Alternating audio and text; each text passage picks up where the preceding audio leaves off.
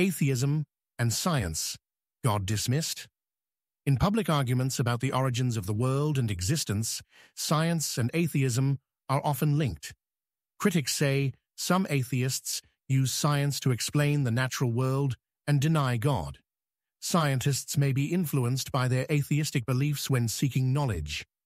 Religious and theistic beliefs have long influenced scientific progress. Scientists like Isaac Newton and Galileo Galilei believed their work revealed divine laws. As the scientific revolution progressed, some intellectuals used science to challenge theism.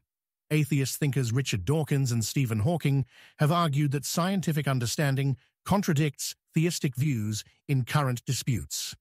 In The God Delusion, Dawkins firmly rejects theism, arguing that evolution and natural selection explain life's variety better than a divine creator.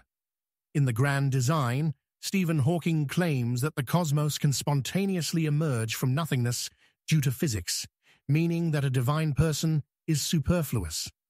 Scientists, like everyone else, have cognitive biases.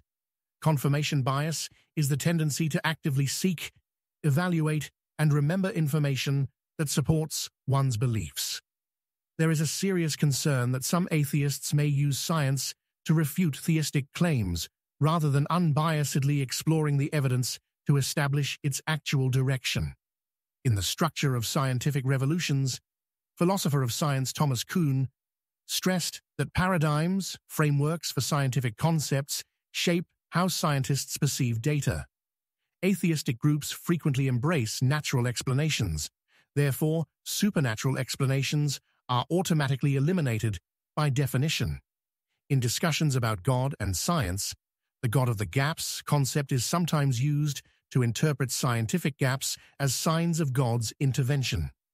Critics say atheists practice naturalism of the gaps, disregarding the supernatural without sufficient evidence because they believe any knowledge gap can be explained by natural means. Scientific research is limited to nature. It may observe, experiment, and construct theories based only on empirical evidence. God or supernatural entity conversations fall into metaphysics, making them unscientific. Science's ability to prove God's existence is overstated. In conclusion, many atheists use scientific language to support their belief that God does not exist, but it is important to distinguish between what science can tell us about the natural world and existential questions. The scientific method is good at understanding the universe, but not metaphysics. Both believers and non-believers must understand science's strengths and weaknesses to find truth.